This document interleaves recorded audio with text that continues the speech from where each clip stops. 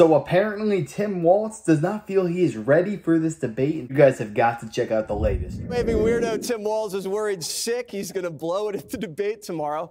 The VP nominee is apparently fighting off nerves and is terrified he will embarrass his potential future boss after admitting to Kamala that he's a bad debater. CNN reportedly, quote, Walz constantly comes back to how worried he is about letting Harris down. He doesn't want Harris to think she made the wrong choice. But here's She one did. thing he hasn't let Harris down on his ability to dodge the press. The Atlantic calling out the Minnesota governor's lack of media availability, comparing him to being trapped in a campaign bubble wrap. Just want to let the audience know Greg Gutfeld said something incredibly inappropriate to me before that script. And That was uh, pretty It mild. was pretty normal. Yeah. well, then you're just a jerk. when when when you when you hear him saying he's worried he's going to let her down, how do you how do you see that? It's bullshit. Plain and simple. This is the lamest op I've seen in months. We're supposed to get, they, they expect us to get giddy and confident that this happy go lucky, rural, folksy dude is scared. No, he's not. He's a construct. He's purely manufactured. He's curated with all these comfortable traits. He's going to do great. He's a politician. Vance isn't a politician. Vance is deep. He writes. This guy, you know, he's a poor man's. Uh, uh, he's a poor man's. Who's the guy who used to throw the confetti around? Don King. I'll go with Don King.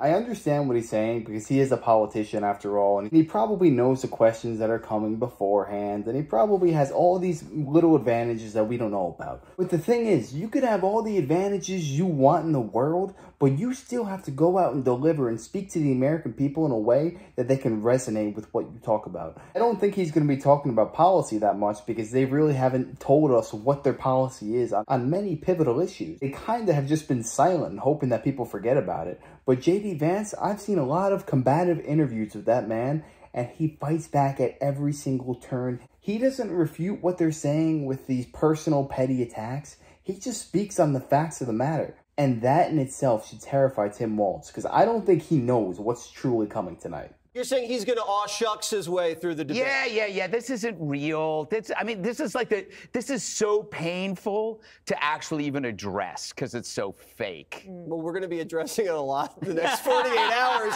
because there's a big debate, Dana. Yes, I'm looking forward to it. There's very clever efforts by the Walz campaign to lower expectations, to be like, oh, JD Vance is a lawyerly genius and I'm going to do terrible and I'm so afraid I'm going to disappoint her because they hope that he does better. But when they rolled him out and chose him over Josh Shapiro of Pennsylvania, they said, oh, part of the reason is because he's got such great media skills. And then immediately they shoved him back in the closet. And I can't tell if it's because they're afraid he's going to outshine her, because she's apparently very sensitive to Oh. that, or because he's actually really bad, or the third alternative is they just want to play not to lose rather than try to win. But tomorrow night it will be exposed. Rip Taylor. Rip Taylor. He's a poor man's Rip Taylor. Look at it. By the way, they want him to be the underdog. That's why they're doing this. I don't even know who Rip Taylor is. You should look him up. You look a You lot look like him, up. him up. You look him up. Do you believe that your guy, Walz, is lowering expectations, or do you think he's honestly a nervous wreck, Jessica? I think two things can be true. Yeah? I, everyone wants to lower expectations before a debate because if it goes fine, then you look godly. And if it goes just fine, then you're still fine. Accurate, one of his concerns or confessions during the vetting process to Harris's team was that he doesn't think he's a great debater. And JD Vance uh, is not, I don't know how to say this nicely. JD Vance comes off awful most of the time, but he is a very smart guy, and I imagine is a pretty good debater.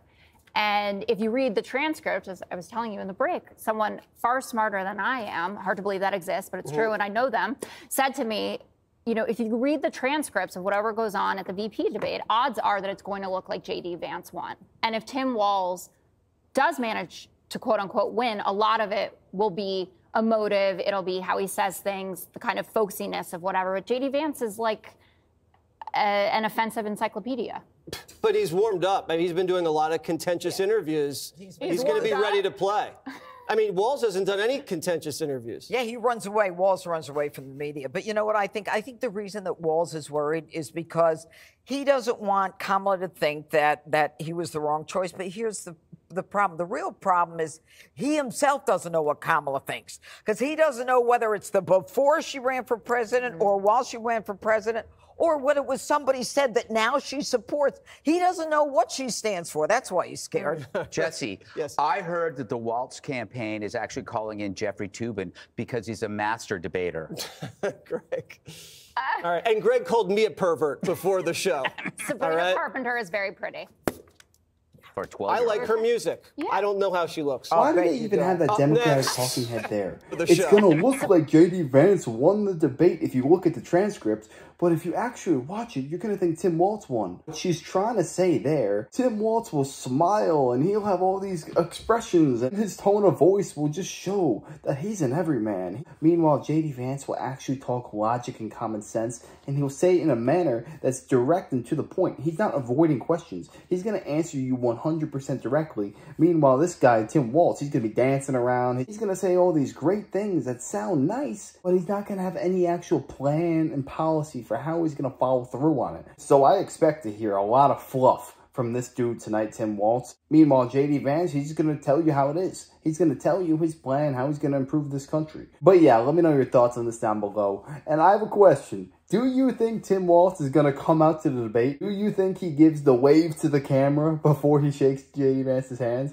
I have a feeling he will, because this guy is kind of bonkers.